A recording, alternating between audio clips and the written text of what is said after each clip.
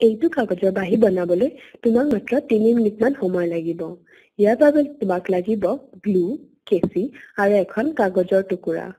যাৰ দৈৰ্ঘ্য হৈছে পোন্ধৰ চেণ্টিমিটাৰ আৰু প্ৰস্থ হৈছে দহ চেণ্টিমিটাৰ। প্ৰথমতে কাগজখন ভাঁজ কৰা যাতে তাৰ মাজৰ বিন্দুটো বিচাৰি পোৱা।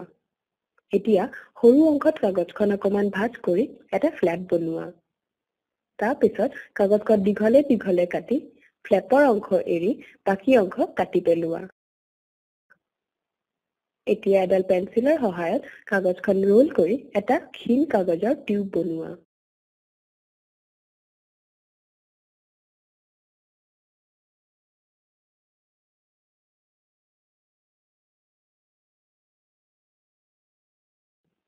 পেঞ্চিলডাল গুচাই এতিয়া এটা মূৰত অলপ গ্লু লগাই দিয়া আৰু টিউবটো সম্পূৰ্ণ কৰা।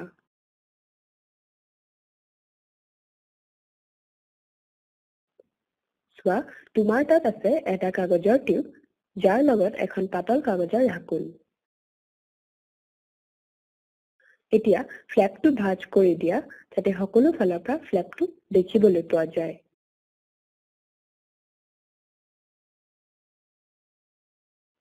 যেতিয়া তুমি টিউবটো মুখত লৈ বায়ুখিনি টানিবা ফ্লেপ মুখত কম্পন হ'ব আৰু শব্দ ওলাব।